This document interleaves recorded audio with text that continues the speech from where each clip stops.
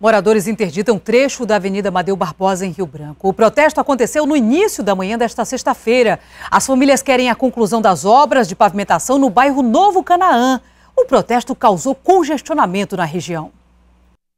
É a segunda vez só essa semana que os moradores do bairro Canaã fecham a Amadeu Barbosa.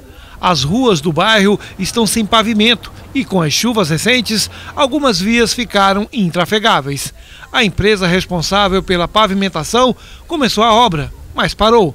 Fato que revoltou os moradores. O seu Dedé é um deles. Cadeirante reclama que precisa sair de casa com a ajuda dos vizinhos, que lhe tiram nos braços. Faço fisioterapia duas, três vezes por semana. Aí a Kombi me pega quando, tem, quando pode me pegar.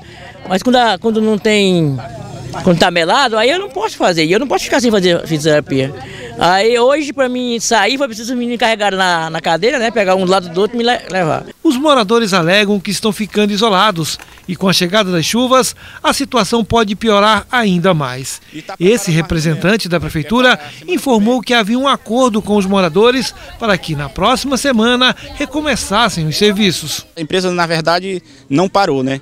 E a empresa veio e imprimiu mil metros de, de imprimiação e está preparando mais mil metros, né? Porque é para a semana que vem eles estão tá jogando asfalto.